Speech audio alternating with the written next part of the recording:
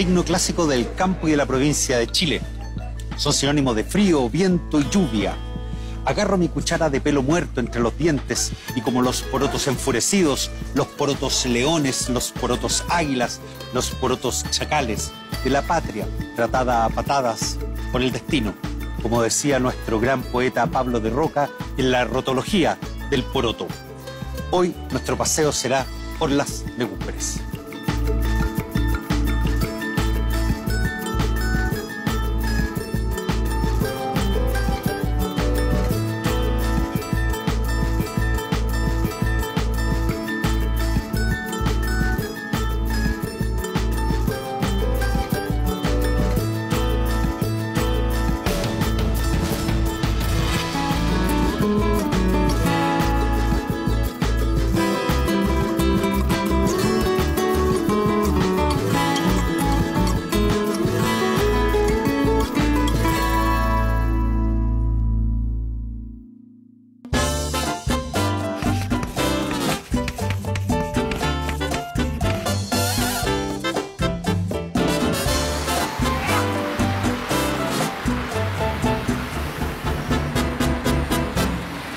Podemos partir este capítulo de Plato Único sin venir donde el padre, el abuelo, sin venir donde está la sangre azul, el linaje, este gran palacio.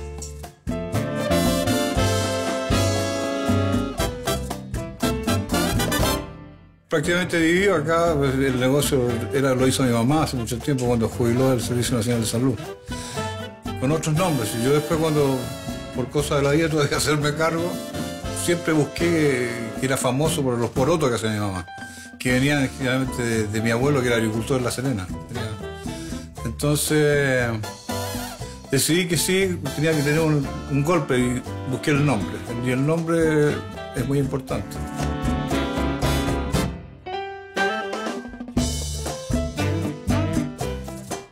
Bueno, sí, la receta generalmente siempre yo digo que bueno, los mejores porotos eran los que preparaba mi mamá y siempre lo he dicho que los mejores porotos son los que hace la nana, la mamá, la, persona que está, porque es el cariño que uno le pone. Aquí influye mucho la cantidad también. A lo mejor a una persona que hace un kilo no le quedan tan buenos como los que acá hacemos 30 kilos o 50 en invierno. Es importante lo, lo- todo. Y el que elegir un buen producto, el zapallo, elegir, qué sé yo, un buen comino. eh.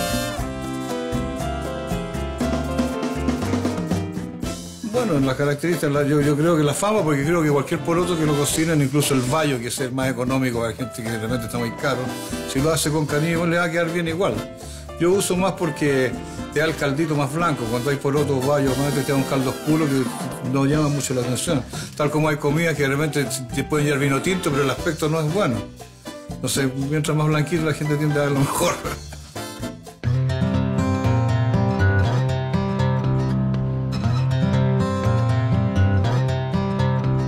No tiene en principio un remojo, el, remojar el poroto la noche anterior. Por supuesto, elegir un buen poroto que sea del año, porque si no lo va a estar cociendo todo el año.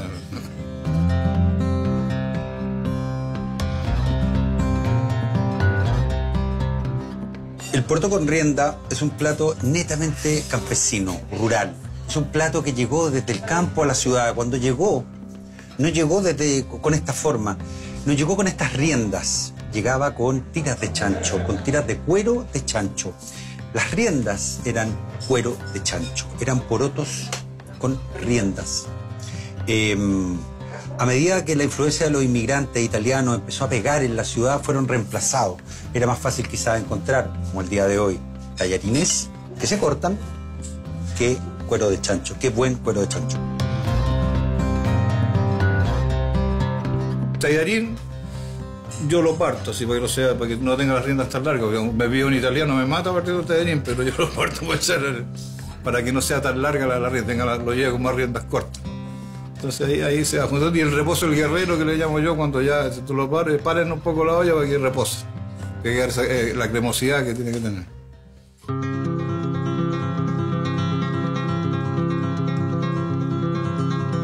Qué mejor en esta mesa chilena tradicional de Estación Central, cebolla en escabeche, la ensalada chilena, pebre, marraqueta fresca, cru- crujiente, con este plato que nosotros llamamos un plato casi con barandas, ¿no? Espeso, cremoso, muy profundo con esta pasta que está untada ya, ¿no? con esta salsa del poroto remojado.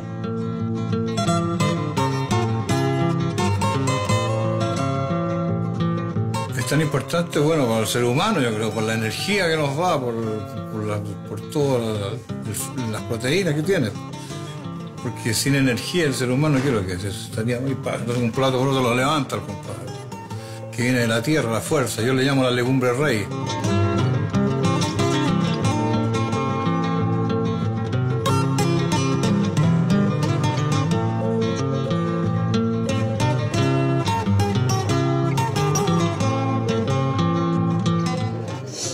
Es un caldo, es un guiso.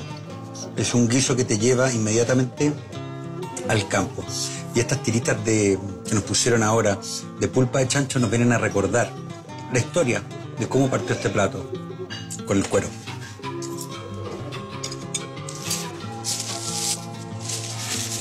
Mm. Está perfecto.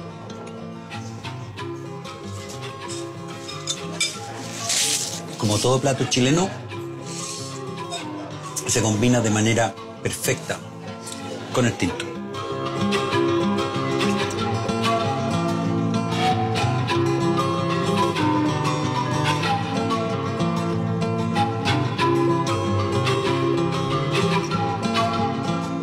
Acá, en los barrios de Chuchunco, Estación Central, Barrios Obreros, está el padre de nuestros puertos, el pater familia, el puerto con rienda, que sin duda es un plato único.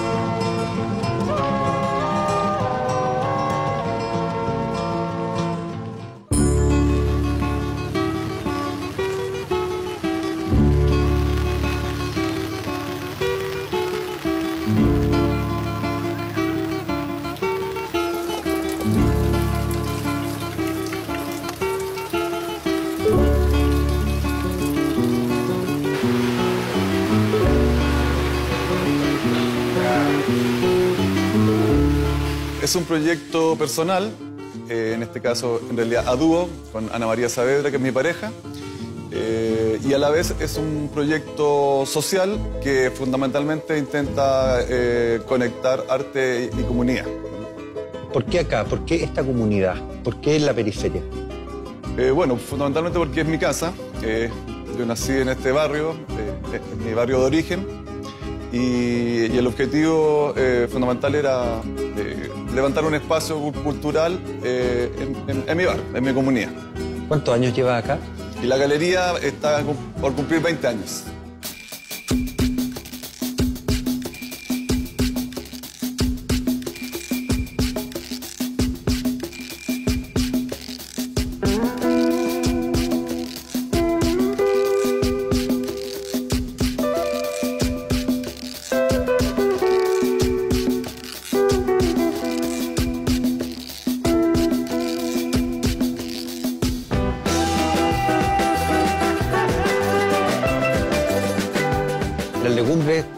Son provincia, ¿no? Son Chile también, más chileno que los porotos, ¿no? Exactamente.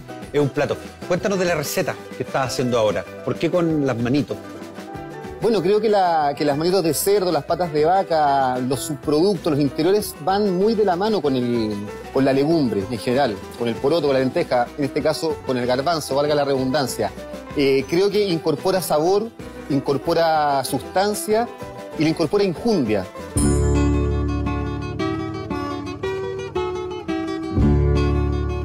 Vamos a empezar a armar estos garbancitos en este día frío, con lluvia, acá en Pedro Aguirre Cerda. ¿Cómo, ¿Cómo empezamos el armado? Bueno, toda cocción, madre fuego ahí en, primera instancia, una olla a buena disposición.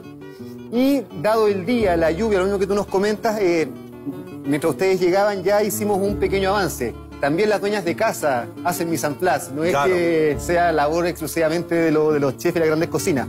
En este sentido, eh, al zancochar las patas de chancho guardamos su caldo, el cual fue mezclado, ya se ve casi como una Gelatina. de gelatina amantecada, con la cual Mucho colágeno. vamos ahí a tener materia grasa, longaniza chillaneja, carnicería del barrio, a dar una lágrima de aceite de oliva.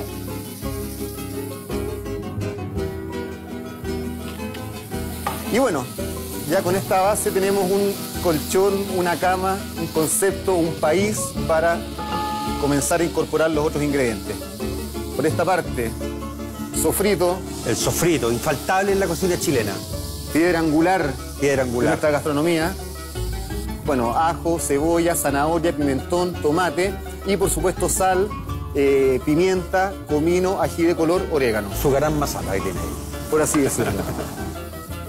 Vale, más candelilla, Un poco de caldo. caldo de verdurita, las mismas cáscaras de la zanahoria, los tallos de la cebolla, las cáscaras del ajo. Ahora para incorporarle más infundia, las mismas patas con las que zancochamos y guardamos esa, esa base, esa gelatina, son las que van a ser acá también actores Las deshuesaste un poquito, pero mantienen estos cartílagos. exactamente. Y por ahí sale ahí su esquinita, su... Claro, su rótula. Hasta mi Charlie.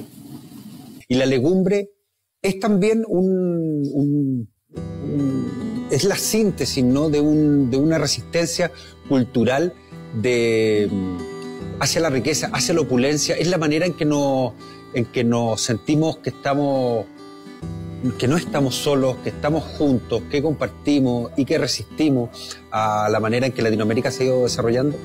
De todas maneras, eh, afortunadamente está presente, como tú mismo lo decías, en la legumbre en toda la, puesta en escena y de, cocina de identidad continental. El arroz con frijoles en Centroamérica, la feijoada en Brasil, en, a ver, lo- los frijoles colados en Perú, en este caso todo el almanaque que hay en base a la legumbre en Chile.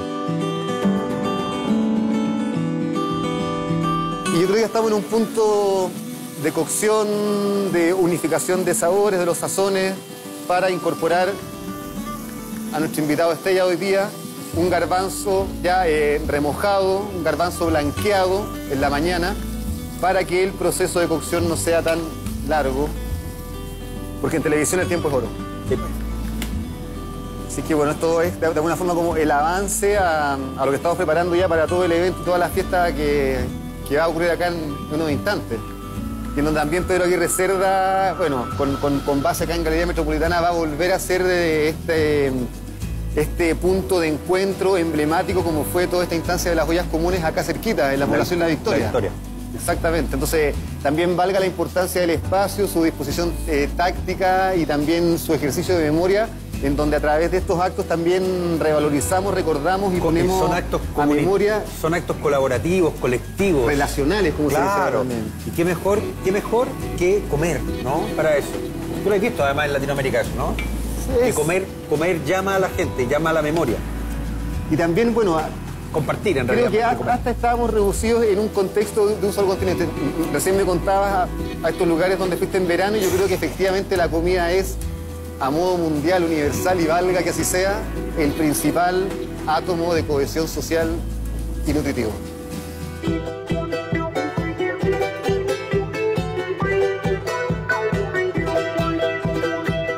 Oye, Adolfo, tenemos este bonus track, ¿no? Que son unos portitos con cochayuyo. Exactamente. ¿De dónde viene esa idea? Soy de la costa, eh, siempre hemos trabajado esta instancia de, de poder combinar los territorios de la mejor manera y qué forma de también ser Chile el valle, el poroto y también ser costa, la roca, el Pacífico. Con cochayuyo. ¿Ahí está bien? Excelente.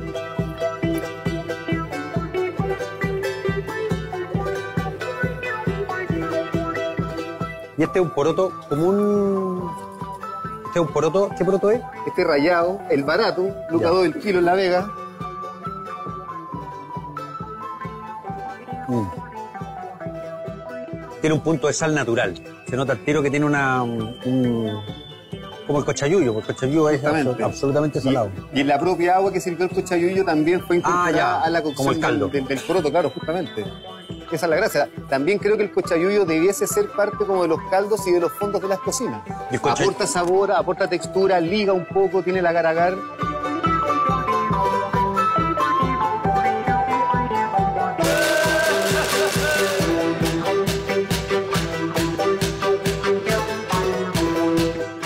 Vamos sirviendo la garbanzada. La garbanzada que, bueno, de plato hondo a plato bajo es la mitad, pero valga el reciclaje y también traídos de México el plato de la taquería de calle típica instalado acá en la comuna de Pedro Aguirre Cerda. Esta es la olla, pues la olla común, ¿no? Sí, bueno, hoy día es una olla más festiva que las ollas comunes que fueron por necesidad, Sí, por emergencia, claro. por sobrevivencia. Hoy día, de alguna forma, eh, rehaciendo este acto, activamos la memoria, pero ya en una instancia más festiva. Los tiempos han cambiado, muchas cosas. Afortunadamente ya no hay estas carencias endémicas. Esperemos que nunca más sean nunca más de verdad también. Pero también que no se acabe esto de, la, de lo colectivo, ¿no? De la comida de la comida en lo colectivo. Y que del encuentro por motivos más duros pasemos a motivos más amables. Más festivos, claro. Exactamente.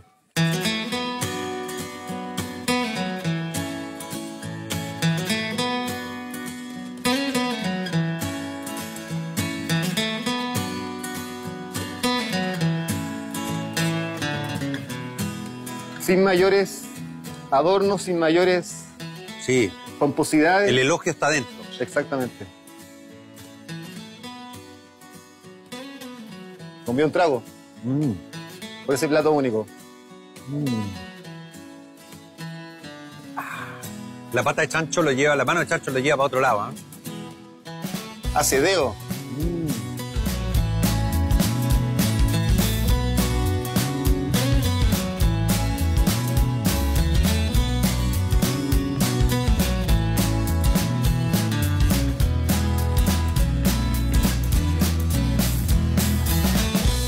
que un plato puede cambiar el mundo, definitivamente. Y en ese sentido, este plato del cuchareo, este plato único, este plato que se sirve de un cucharazo, como una matriz edición y serie que va en repetitiva sirviendo esta, esta entrega, es como también se estructuran las ollas comunes y también en donde la, la legumbre en general ha sido este plato solidario por, ya por, ¿cómo se podría decir?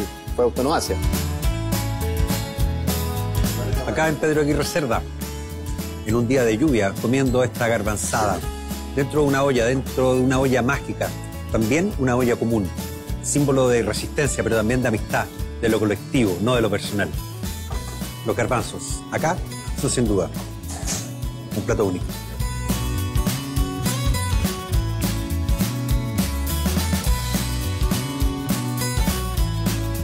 Vecino, pase. Bienvenido. La casa invita hoy día.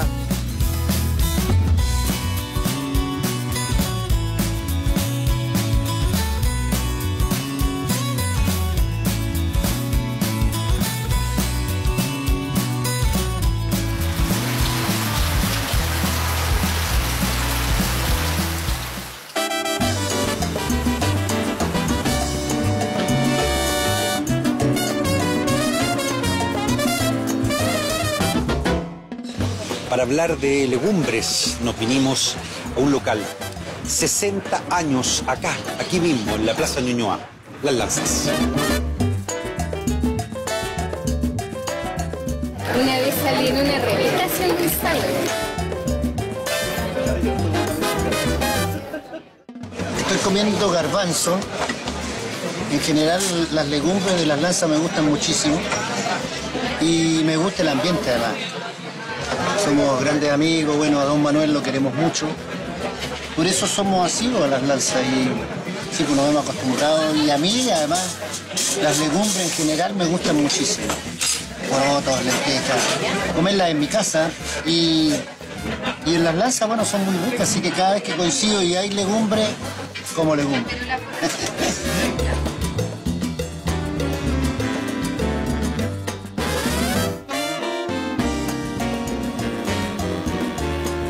Oye, Manuel, tenemos muchas cosas en común nosotros.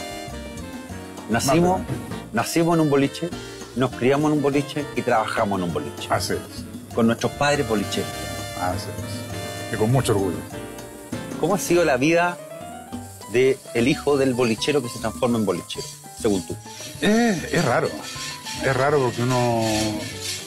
El bolichero es una especie en extinción, donde todo se empresarializó, se- son todos empresarios, todo se gerenció tanto. Es raro ver los negocios atendidos por su propio dueño. Exactamente. Porque en el fondo el boliche es tu casa. A la casa propia uno llega muchas veces solamente a dormir. O el día que tienes cerrado, lo disfrutas. Pero el resto del día, tu familia es tu gente del boliche.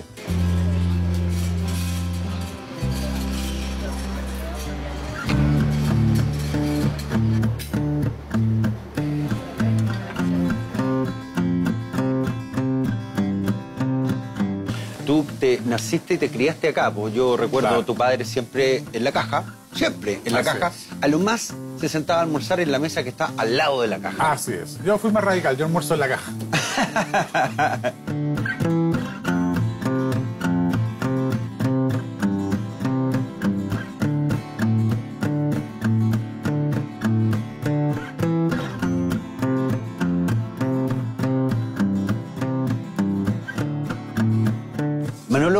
Hoy vamos a comer poroto granado. Hoy día vamos a comer garbanzos con chorizo y porotos granados. ¿Son caballos de carrera ganada? Sí, acá? pues. Sí, sí. Hay gente que viene a comer siempre, Con todo, poroto, casi todos los con días, pilco y con mazamorra, van juntos. Y un paraguas. juntos en el mismo plato. Sí. juntos? Perfecto. Sí, O sea, se me, eh, mezclado. mezclado. Chocolatero y choclo molido. Exacto.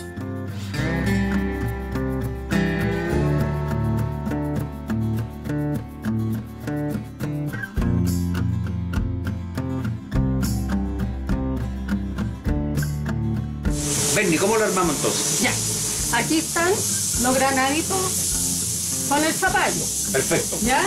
¿Qué le faltaría? El sofrito, con pimentón, con ajito, sal, porque aquí no lleva. Y él se le lleva, la- le echa la sal aquí en el sofrito. Tiene buenos olores. Oiga, ¿y usted es buena para revolverla? Ah, sí. Somos buenos para revolverla aquí en noches. ¿Por cuánto rato lo tiene acá cociendo? Los porotos. granados, sí, como 40 minutos. 40 minutos. Sí. Perfecto. Vamos y ahora le vamos a echar Con el el pico. choclo.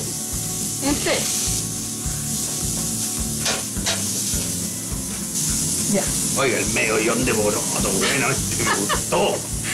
Sí, para que dure harto. Y los pedacitos de zapallo. Sí, la albahaca. Oiga, este es el verano puro. Y la gente lo pide con una chilenita al lado. Con chilenita, con. Pasito verde. Claro. eh, plateada, mechada, chuleta, Claro, un pedazo de plateado. laniza, Costillar. un costillar. Otros, ¿sabes? Muy bueno, me gusta este, la antigua, la cocina a la, antigua.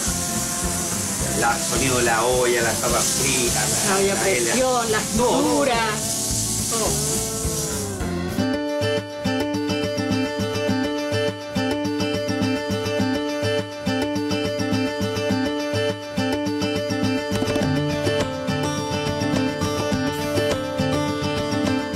Don Manuel, Manuelito, ya estamos listos. Usted se va, ¿Estamos va- ok? va a atacar los garbanzos. Llevamos los garbanzos. Deja un chorizo, sí. Pedacito. Mira, esta nata, esta nata es fabulosa. Y ocurre con los porotos. Mira, esa nata es como la nata de la leche. Sí. es la concentración de los sabores. Mm, Con telita. mm, me encanta. Mm. No existe algo mejor para mí que echarle un poquito de chilena al poroto. Que no son de invernadero. Mm. Es una mezcla gl- gloriosa. Salud. Este, saludcita. Muchas gracias. Oye, Manolo, ¿esta es la porción? Esa es la porción. Oye, que se mantiene caliente en el pocillo de greda. Está- La greda tiene su gracia, tiene su cuento. Cuando la greda es buena calidad, te lo adorna, Mm. no te lo contamina. Hay que curarla así, Sí, como uno. sí. Para eso sí. Oye, Manolito, hagamos Hagamos un el, cambiazo. el intercambio. ¿Tus proveedores Impecable. lo has mantenido en el tiempo o generalmente los vas constantemente cambiando? No, los proveedores suelen pasar con lo mismo que en el boliche. Hoy día yo trabajo con el hijo del pescadero que tendría mi padre. Ah, claro. Trabajo con el hijo o el sobrino del, Claro. del verdurero que tendría mi padre. Es lo mismo. Vamos trabajando con la misma, con la misma gente. Se traspasa Sí. el oficio. Sí, sí, sí. Porque al final tanto tu boliche, el mío, el del carnicero o el apuesto de verdurería, al final no es eso. Es la historia familiar. Y uno la historia familiar siempre la, va- la va a defender. Entonces dejarla botada no- no- a uno no le nace. No le nace. Muy, muy bueno los garbanzos.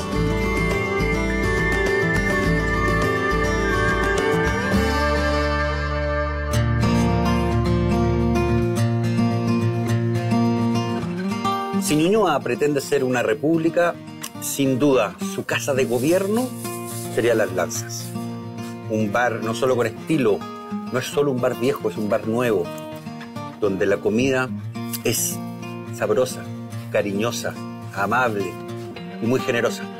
Muchas gracias Manolo por darnos tu tiempo, compartir con tu padre, ahí está, las legumbres, los porotos, los garbanzos y la conversación entre bolicheros, que sin duda, plato único. Ay, ay, ay.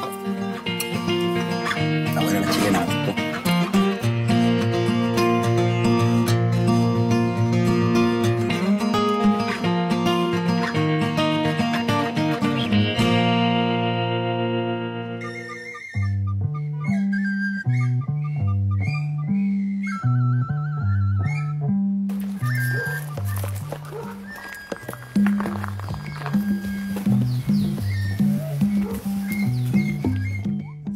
Es increíble la diferencia de olor entre cuando está absolutamente fresco, recién sacado, un olor más dulce. Sí, es bastante más dulce y tiene algunos, incluso hasta algunas, algunos dejes medio cítricos cuando uno, Sí, uno lo, le toma el aroma, sobre todo los brotes pequeños. Y aparte que a diferencia de la hoja grande, son comestibles, así Ah, perfecto. rápidamente.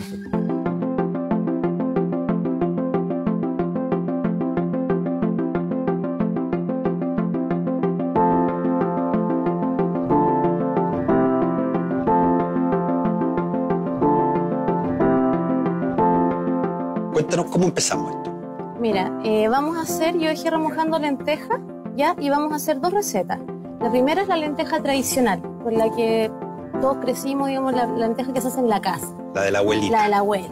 Y la segunda vamos a hacer unas albóndigas de acelga y zapallo con un puré de lenteja, Perfecto. ¿Ya? Y zanahorias. Es la lenteja común y, común y corriente que yo la, la activé desde anoche hasta ahora. Perfecto, remojar. Exacto, que la lenteja la puedes co- cocinar así nomás. Sí, claro. La puedes tirar y cocinar. Pero se activa más y tiene toda su propiedad cuando la remojas. Y la diferencia con la lenteja tradicional es que le vamos a poner tallos de acelga. Ah, perfecto. Entonces vamos a correr esto un poquito para acá. Ahora vamos a tirar, vamos a hacer un sofrito.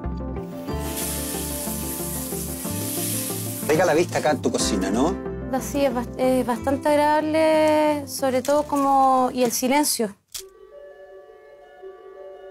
Es bastante rico para cocinar y para poder sacar ideas e inspirarse. Sobre todo para, para tomar cosas eres vegana? como- Yo soy vegetariana. Vegetariana. Desde los 12 años, tengo 37. Vaya. Bueno, yo soy vegetariana desde los 12 años, eh, básicamente porque empezó a dar asco la carne. Mi mamá trató de todas formas de inculcarme igual la comida con carne, me lo metía con la, pero la descubría siempre por el sabor. Y desde ahí que ya no, no, no como carne. ¿Es el sofrito una piedra ¿Mm? angular de la cocina chilena? Sí. Y la color, Y la color. y la color. A mí me gusta un lugar donde en pura especia las tienen en, en cajas de vidrio, así. Y tú miráis las fotos, está para fotografiarlo, la, lo fotografiáis y tenéis chile ahí, en condimento. Tenéis eh, ají de color, ajo, comino, orégano. ¿Cómo no te gusta el chancho si te gustan esos sabores? Porque lo que tú me estás hablando es como un poco de vinagre y el aliño es chancho. Yo es divertido porque cuando hago asado con mis amigos me tiran a mí a hacer el asado.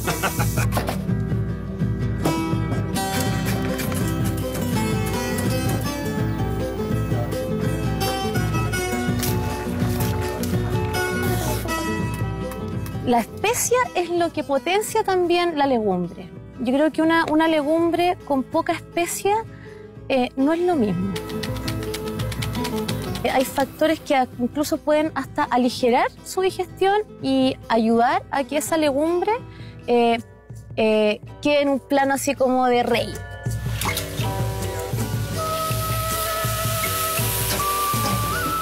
Va a tirar.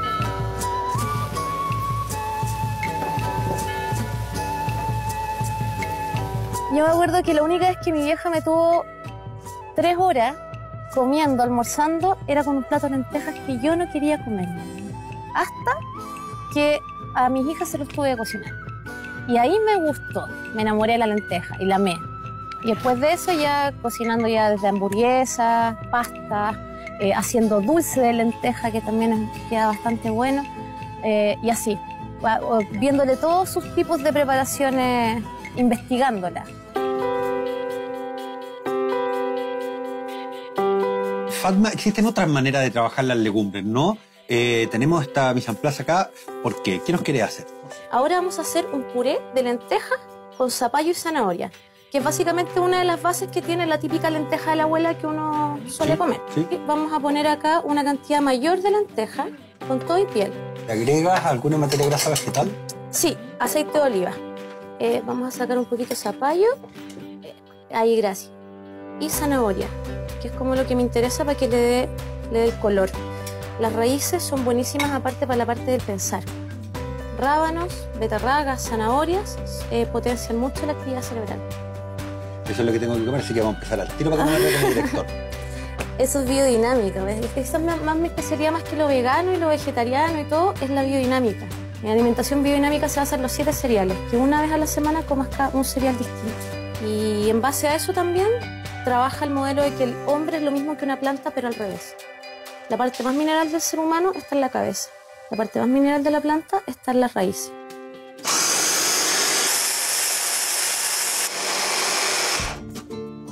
Ya pues Fatma, vamos a hacer entonces ahora una albóndiga.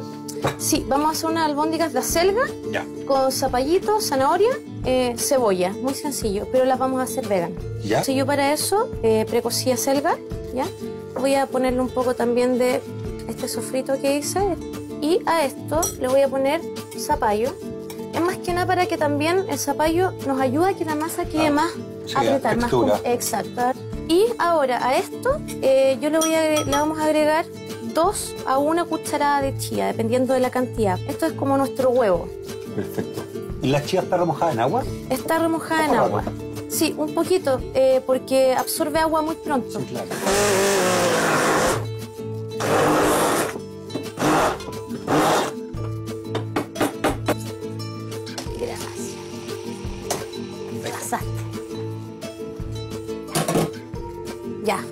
Entonces, ahora ya que lo pasamos por mini primer, viste que queda como... Oye, probé la mezcla, está exquisita. ¿Esta? ¿Sí? ¿Qué buena? Sí, está Ah, exquisita.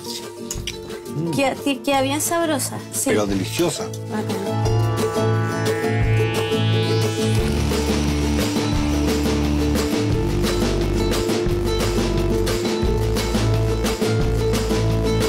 Es súper versátil, súper versátil. Y yo creo que a veces está muy disminuida. Es como que el poroto es el rey a veces. Y la lenteja como el súbdito. O como, ah, como ahí, está ahí al lado. Pero puede ser un gran protagonista de la comida.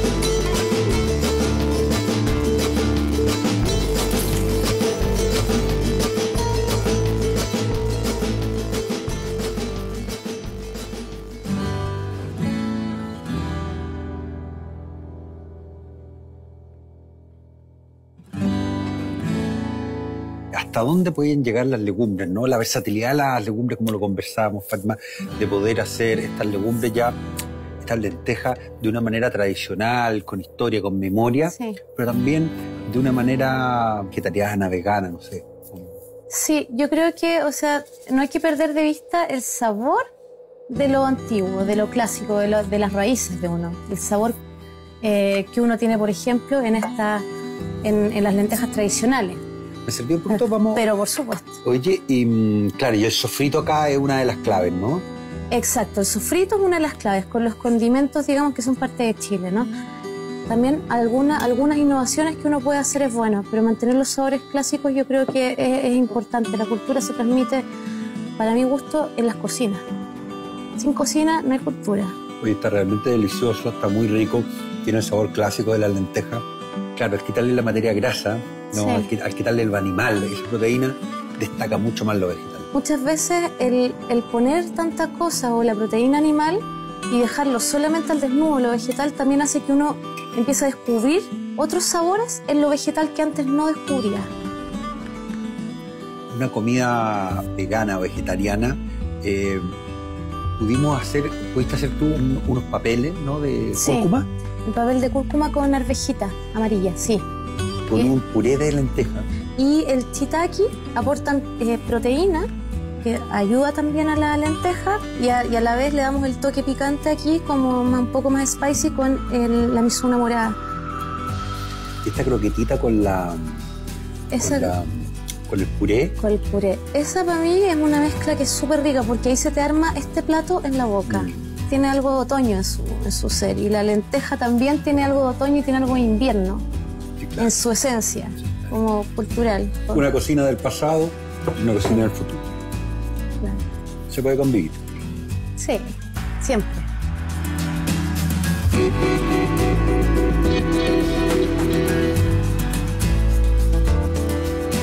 Muchas gracias, Fatma, por, por mostrarnos tu casa. Siempre es bonito entrar a la casa, siempre es bonito entrar a la cocina de la casa del cocinero, ver sus cosas, ver sus objetos, ver su, su hábitat natural. Gracias por tus legumbres, por tus lentejas, por esta forma de diversionar, de escuchar cómo los alimentos eh, crean nuevas canciones. Las legumbres, las lentejas, de forma antigua, de forma moderna. Acá en Peñalolenzo, sin duda, un plato único. Mmm, Salud. saludcita.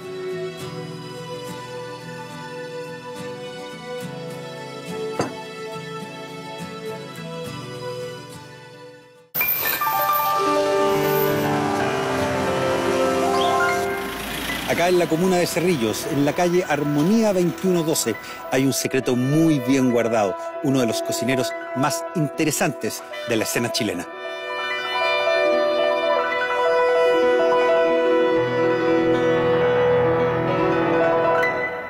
Calfu, el poroto. ¿Qué representa el poroto dentro de la gastronomía, dentro de la cocina mapuche, dentro de la casa? El poroto es divertido porque es parte de los sueños de los mapuches. Eh, Cuando se sueña con legumbre, eh, netamente es la respuesta cuando pasa las 12 del día en la hora de almuerzo porque se arma como una forma de ritual para que vaya entendiendo la gente. Eh, y costumbre que decimos nosotros. Conversamos nuestros sueños, interpretamos nuestros sueños. Y soñar con poroto es netamente que vaya a tener abundancia o vaya a tener dinero o te va a irte bien. Porque si toma el ejemplo, siempre es un poroto y de un solo poroto, ¿cuántos, cuántos porotos son más? Entonces habla de la abundancia que puede generar en una familia.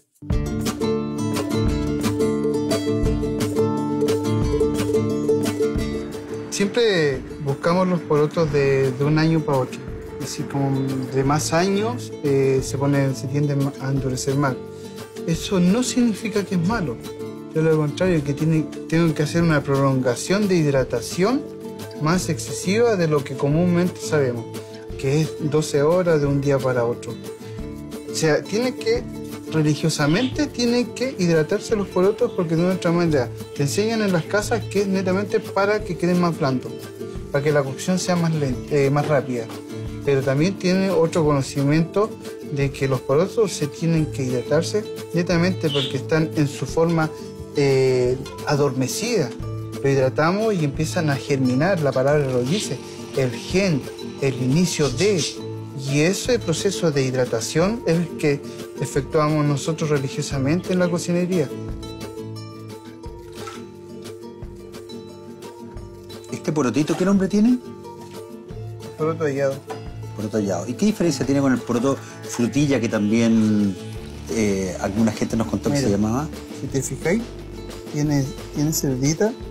Esa cerdita cuando los porotos frutilla, la diferencia es que es casi la misma textura y forma. eh, la diferencia es el color. Esto se puede, puede, puede tener una confusión porque el color café puede ser poroto añejo, pero la- eh, en sí su gen son cerditas Más ro- rojas. más rojas. Perfecto.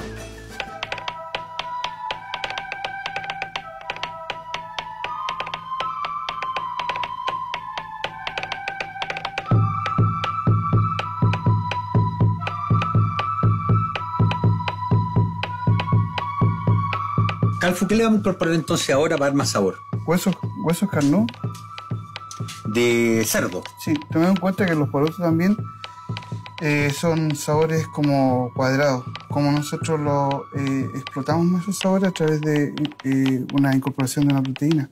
Proteína grasosa que, que es el hueso del, del cerdo.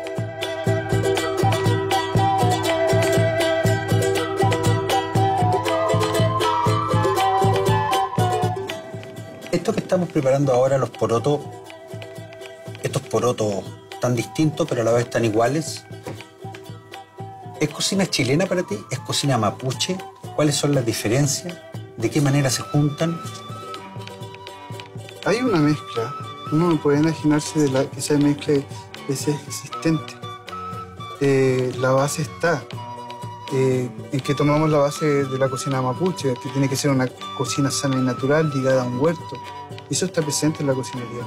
El fuego, el carbón, el ahumado, todo lo que es la esencia de cuando uno va a una ruca mapuche, en la- el sector de la Araucanía o hasta en el sector campesino, está presente lo que es la leña, el humo, el fuego, los elementos que son propicios para decir que esto es mapuche. Calfu, ¿qué vamos a hacer acá en la parrilla entonces con este fuego? Eh, como ya echamos a cocer los productos, vamos, ahora vamos a cocinar las papas. Y las papas que tengo, unas especiales, que son las papas que antes se miraban en menos, las chancheras. Las chiquititas. Chiquititas, sí. Perfecto. Están cosechadas casi recién, ¿no? Sí, sí, son- estamos justo en la época donde Sí, aparecen todas las papitas. De cosecha de papas. Oye, Calfu, pero también tenemos que hacer un sofrito, porque también tú ocupas el sofrito del poroto, ¿no? Sí, ya es costumbre, sofrito se impregnaba en, la- en la- en toda la cultura chilena. Y sí hacemos cocina mapuche, pero no la dejamos también de las costumbres y realzar la- lo, que hace, lo que hace el chileno. Creo que me tenéis también un, ¿Un sabe tira? un asadito de tira a caballo, ¿no? Sí, por lo general el asado de tira eh, no lo hacen mucho a la parrilla, lo hacen más, se van a, la- a lo fácil, lo hacen en, en- en un fondo. Estofado. Sí, estofado, en un, en un caldo. Aprovechamos que hay harto fuego, hacemos la cocción de papa y es- después se van reduciendo todas nuestras leñas y con esa brasa hacemos, nuestra- sí, hacemos nuestro asado de tira, de caballo.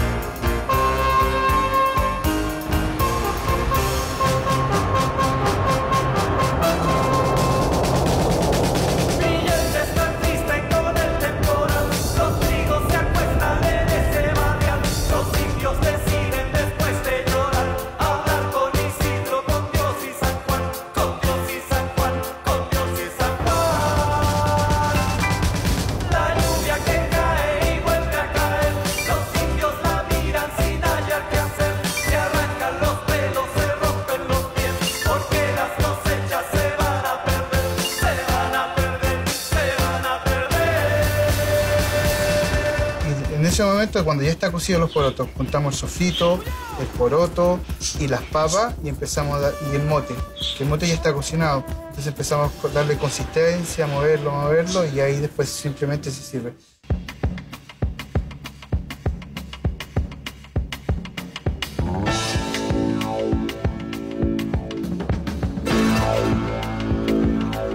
Los porotos, mm, hay más de 100 tipos de ecotipos de porotos solamente en la región de la Araucanía o, Santiago, o perdón, Chile céntrico. Así igual también entre medio de los valles para el norte hay otros 100 más. Entonces, indagar y buscar que este, este, esta legumbre siempre estuvo presente y que no lo hemos realzado es netamente por qué nos fuimos ensegueci- enseguecidos con el arroz sin menospreciar el tema de, cada producto, porque yo valorizo mucho el tema de la alimentación.